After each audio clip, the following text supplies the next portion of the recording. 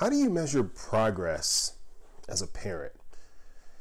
I mean, your kids are going to grow, they're going to learn, they're going to develop, no matter or even in spite of what we sometimes do as parents. So, what does getting better at parenting really look like? My personal opinion, and it's just that an opinion or a perspective, is that growing as a parent means growing with your child or children. If you think about it, the relationship between a child and the parent is one in which the child is constantly seeking more independence, even from the time that they're very little.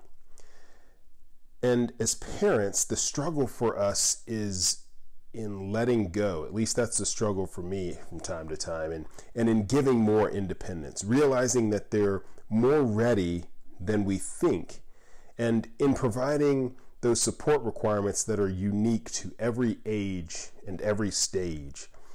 And that's tough.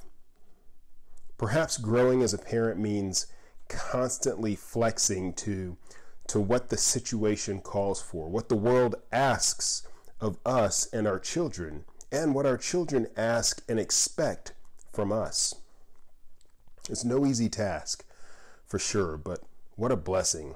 What a blessing it is.